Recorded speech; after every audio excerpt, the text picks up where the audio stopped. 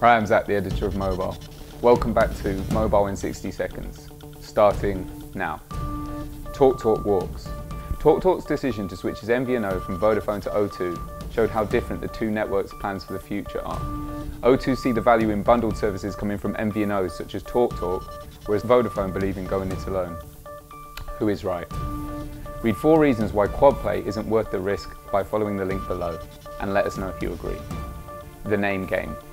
Following Microsoft's decision to stop making Nokia devices, the Finnish manufacturer floated the idea of licensing its name to others.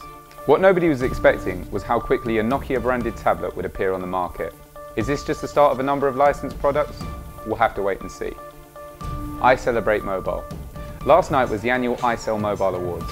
EE scooped the product mastermind crown, whilst three were also big winners. Dramatically, its outgoing director of retail, Jacqueline Kelleher, scooped the Big Boss Award on an emotional line. The Store Manager of the Year award was won by Jason Appleyard, also of three, and his celebration was one of the highlights of the evening.